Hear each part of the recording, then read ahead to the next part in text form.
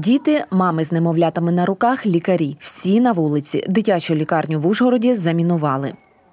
Мам сказали, що замінування. Нам сказали, беріть дітей і вбігайте. Речі нічого не беріть дітей. Ми просто взяли дітей і всі вибігли.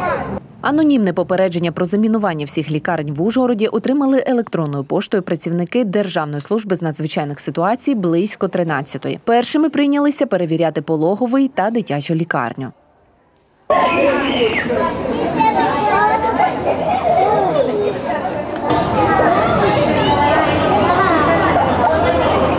Подібні виклики на території області та й по всій Україні останні два тижні надходять чи не щодня. У всіх закладах працюють правоохоронці, які перевіряють дану інформацію, працюють вибухотехніки, а також рятувальники. Правова кваліфікація даній події буде надана вже згодом. За останній час повідомлення про замінування це не є рідкістю. Е, Вони надходять, наскільки нам відомо, надходять не тільки на Закарпатті, але й в інших областях України.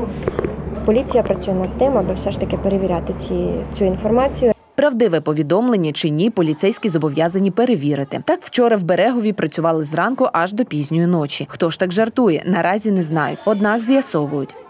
Вчора перевіряли все берегово, тобто не було указано на е, якийсь один чи два заклади. Спочатку надійшло повідомлення про замінування трьох установ, а друге повідомлення надійшло про замінування. е, Всіх об'єктів у місті Берегово. Повідомлення надходять е, електронною поштою. з- Встановлено кіберполіцією про те, що е, електронний хостинг зареєстрований у іншій країні.